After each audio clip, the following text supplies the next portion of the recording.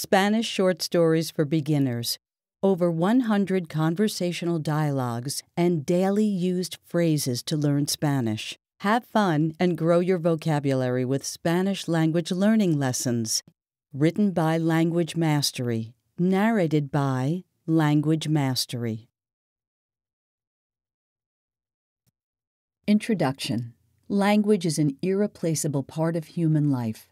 Just imagine for a moment that you wake up one morning and cannot speak your own language. How would your life be? How would you feel? Wouldn't life feel like a total mess? While knowing a language is essential, knowing more than one could be a competitive advantage for you.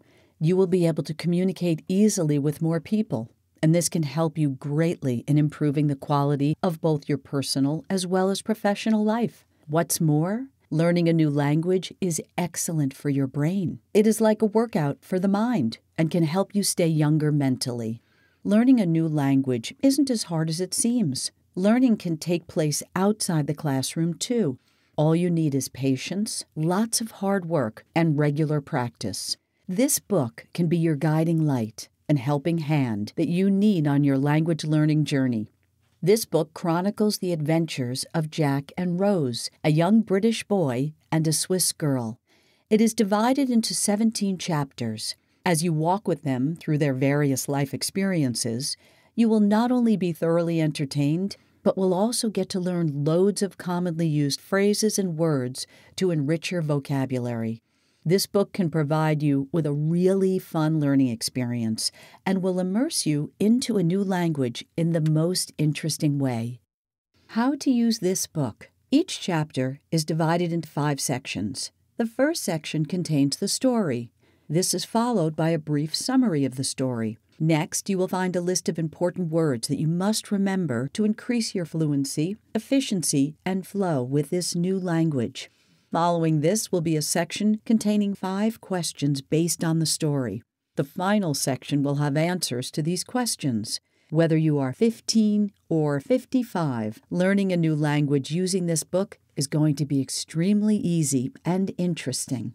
Start by reading the story. Don't pressure yourself too much. And just try to understand and absorb as much as you can in your first read. It is normal to not be able to understand every word. You are learning a new language after all. Read the summary next to confirm your understanding of the story.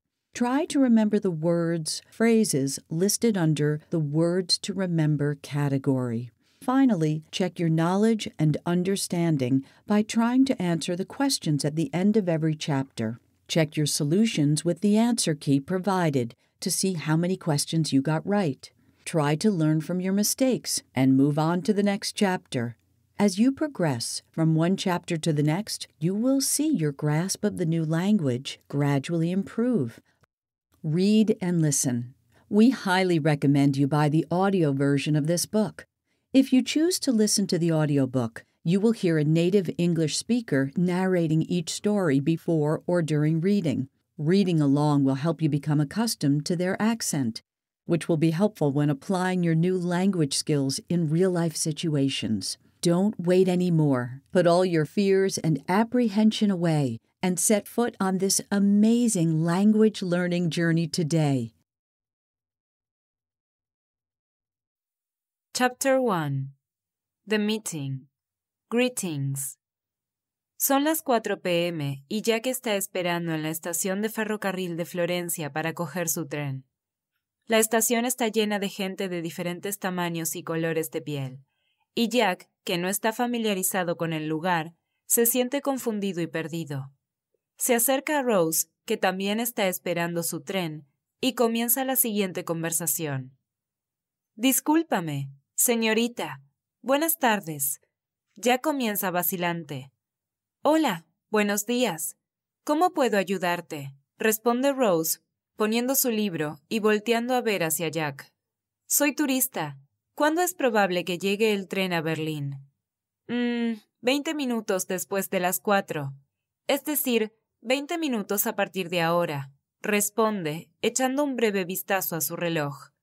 Muy bien, gracias. Jack responde aliviado. Un placer. ¿Todo bien? Rose pregunta, preocupada. Sí, Estoy bien, gracias, dice Jack con una sonrisa. ¿Cómo estás? continúa. Estoy bien. ¿De dónde eres?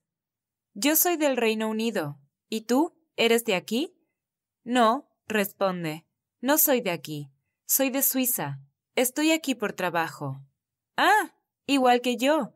¿Dónde vives en Suiza? Yo vivo en Zurich. ¡Wow! Eso es encantador. Zurich es una ciudad hermosa. Sí. ¿Has estado alguna vez en Suiza? Sí. Sin embargo, el año pasado visité Berna para una reunión. Nunca he estado en Zurich, responde Jack. Debes visitarlo. Lo disfrutarás. Sí, absolutamente. Mi sueño es viajar por Suiza, dice Jack. Mi viaje a Berna fue muy corto, solo un día. Espero planear un viaje más largo esta vez. ¿Alguna vez has estado en el Reino Unido? No, nunca. Pero me encanta la familia real británica. Quiero visitar el Palacio de Buckingham algún día, responde Rose con entusiasmo. Es bueno saberlo. Es la atracción turística más famosa de Gran Bretaña. Sí, es un hermoso palacio. Creo que es una de las atracciones turísticas más famosas de todo el mundo. ¿Cuándo es el mejor momento para ir de visita? Puedes ir en cualquier momento, pero si te gusta ver el interior del palacio, está abierto a los turistas de julio a septiembre. ¿Solo tres meses al año? pregunta Rose. Sí, porque ese es el momento en que la reina va a visitar su castillo de vacaciones en Escocia. No pueden permitir a los turistas cuando la reina está allí. Oh, sí, entiendo. ¿Vives en Londres? No, vivo en Bradford, es una ciudad en el norte del país, explica Jack. Bradford. Lo conozco. Dos de mis colegas son de allí y he oído mucho sobre este lugar de ellos. ¿En serio? Qué bueno oír eso. ¿Dónde trabajas? pregunta Jack. Yo trabajo en una galería de arte aquí en Florencia. ¿Y tú? Soy escritor. Trabajo en una editorial en Bradford. Ahora estoy viajando para conocer a algunos de nuestros clientes en Berlín, París y aquí en Florencia. Bien. ¿Cuánto tiempo vas a estar en Berlín? Dos días. ¿También vas a Berlín? Oh, sí. Tenemos una exposición de arte allí, dice Rose. ¿Su empresa hace las exposiciones? Sí.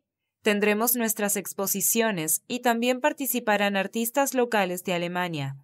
Las pinturas tratan sobre los efectos del calentamiento global es una exposición de tres días. Puedes venir y echar un vistazo si tienes tiempo. ¿Te gusta el arte? Bueno, no mucho, pero voy a tratar de ir. Buena suerte con tu exposición. Gracias. La exposición se celebrará en el Ritz-Carlton de Berlín. Comenzará mañana y durará tres días.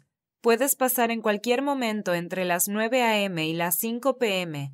Puedes llegar fácilmente en tren o autobús. Toma la tarjeta de mi empresa. No dudes en llamarme si necesitas ayuda. Qué amable. Muchas gracias. ¿Cómo te llamas? Oh, olvidé mencionarlo. Me llamo Rose Kessler. ¿Cómo te llamas? Yo me llamo Jack Butler. Fue un placer hablar contigo. Encantada de conocerte, Jack. Aquí viene nuestro tren. Comenta Rose, señalando que el tren se está desacelerando a medida que se acerca a la plataforma. Oh, sí, discúlpame por un momento. Nos vemos a bordo, dice Jack y se apresura a buscar su bolso. Adiós, Jack. Cuídate. Tú también, Jack contesta, y los dos van por caminos separados. Summary.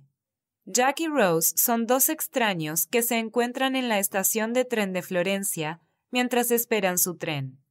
Jack se acerca a Rose para preguntarle sobre la hora de llegada de su tren y comienzan a hablar. Una conversación lleva a otra y terminan conversando sobre sus pueblos, su trabajo y sus planes futuros. Words to remember. 1. Discúlpame. Excuse me. 2. Buenas tardes. Good evening. 3. Hola. Hello. 4. Buenos días. Good day. 5. Un placer. My pleasure. 6. ¿Cómo estás? How are you? 7. Estoy bien. I'm fine. 8. ¿De dónde eres? We hope you enjoyed this preview. To continue listening to this audiobook on Google Play Books, use the link in the video description.